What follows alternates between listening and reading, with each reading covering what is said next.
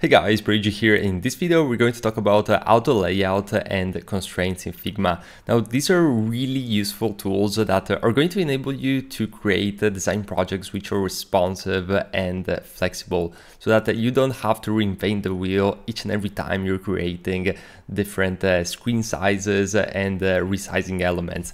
So an example of this uh, is uh, right here we have this model and uh, essentially let's uh, think about a scenario where a project manager asks you to create uh, all sorts of different uh, screens for desktop, uh, tablet and mobile.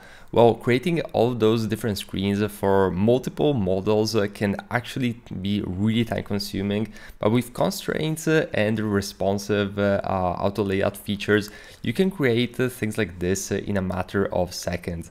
So it's really easy to do and I'm going to show you exactly how to do it in this tutorial. And just before we get started, I want to remind you that I recently launched a course on how to get started in UI UX design. It's a free course and basically I'm uh, telling you what uh, are my tips and advice that I wanted to receive when I first started out over a decade ago in this field. You're also going to receive free source files from these tutorials. But now let's go back into the video. So let's jump right into it and we're actually going to restart from scratch. So I'm just going to create a frame right here, which is going to be our main frame.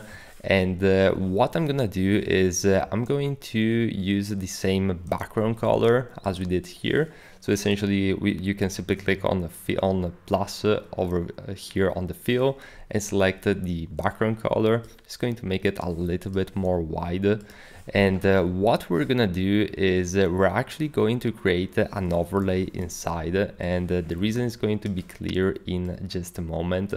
And essentially what this overlay is going to uh, give us uh, is the ability to use the constraints uh, features which I'm going to show you in just a second. So let's actually go in the main frame, which I'm going to rename to just to avoid confusion with this first one. And uh, what I'm gonna do is I'm going to remove the fill in this one. So essentially what's happening here is that we have our main frame and then we have uh, this frame which is essentially the overlay. And uh, the moment that I select uh, an element, so I'm just going to uh, copy and paste this element right here uh, inside of the overlay. Let's just be sure that it's uh, right inside. I can select the main overlay and what I have here on the right is the constraints options. Now this is where the magic happens because essentially what uh, these are enabling us to do is to set the constraints to either left, right, left and right, center or scale. Now what does that mean Pierre? you might be wondering. Well, let's just center this uh, and uh, let's uh, give it a shot uh, and uh, let's just give it left uh, and top as you see right here. And I'm going to select the main frame and I'm just going to stretch the frame.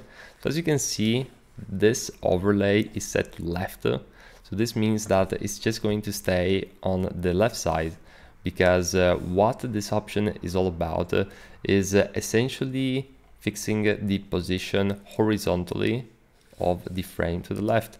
But what happens if we, we put it on the right? Let's give it a shot and I'm going to select the other one again. And this time things changes because as you can see, the frame is now, which is the overlay, is now set to the right. So it's going to stick to the right. Now, what do you think is going to happen if uh, we leave it at and we select left and right? Have a moment to think about it. Yep, that's exactly what's gonna happen. It's uh, literally going to stick uh, both on the left and on the right side of the frame. Now, say that we want to also set the vertical um, position because at the moment the vertical position is set to top but uh, what if uh, we set it to bottom it's going to be very similar to what uh, we did just a moment ago with uh, the horizontal one which was set on the right so it's going to be on the bottom section now if I go on the overlay and uh, I select top and bottom you can see that now, or actually I selected the wrong one. I need to select the top one. And as you can see, now is, uh, is both on the top and on the bottom. Now, you might have uh, noticed that uh, there are also uh, some other settings, just center, and this of course is going to center the frame. And uh, the very last one is scale. So it's basically going to maintain the scales very similar to the top and bottom in this specific instance. Now let's uh, uh, go ahead and let's uh, uh just keep it uh, left and right, and top and bottom right here. And uh, the moment that we do this, you can see that we have, or actually I need to select the other one. You can see that we basically have this um, old model updating with the layout features. And uh, another thing that we can do actually is to keep uh, the um, keep the scale. So keep it, for example, to center. And I'm going to center this one as well. And as you can see, the moment that I do this, uh, I'm not saying anymore to Figma, hey, this model should uh, stick to the left and the right, but it should uh, keep to the center. So in this case, you can uh, create uh, all sorts uh, of uh, different uh, responsive sizes uh, in just a matter of seconds. So this is going to be really, really useful if you're creating any type of responsive, you know, features in Figma. Now, that being said, uh, the other thing that I wanted to show you in this video is the auto layout features. So for example, if I select uh, here and uh, I'm, just going to um, cancel this one here and this one here as well, just make it a little bit bigger. And uh, what I want to show you briefly, and by the way, I have an entire video on auto layout where I go really in depth. So feel free to check it out uh, on my channel. And uh, in order to access the auto layout, you simply need to select all of the elements or have a group selected, like in this case. And uh, you can use uh, Shift plus A or simply click on the auto layout.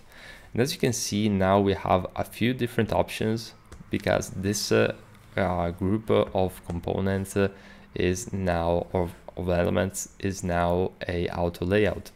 So the very first uh, element uh, is the direction. So by default it's set as vertical direction, which in this case works perfectly fine since it's exactly what we need, all the elements stacked vertically. However, if we click on horizontal, you can see that now all the elements are going to be stacked horizontally.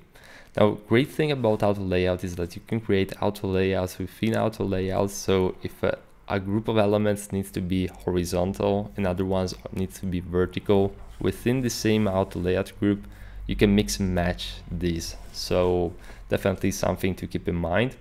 Now the very next option is the spacing between elements. So as you can see, the moment that uh, I increase or decrease the spacing um, between the elements is going to change. So let's just uh, undo this. And another thing which is uh, really cool is the padding uh, between uh, or around the item. So let's say that I want 40 pixels of padding and I can increase this. You can see how the padding inside the auto layout is actually going to change. Now let's uh, keep padding around these lines. And another thing that I want to show you is this menu right here, which uh, is essentially telling us uh, where the auto layout is going to sit uh, in between. So I'm going to I'm going to use uh, another example just to make uh, this really clear, really clear since uh, there's quite a few elements here and I, I want this to be crystal clear for you guys.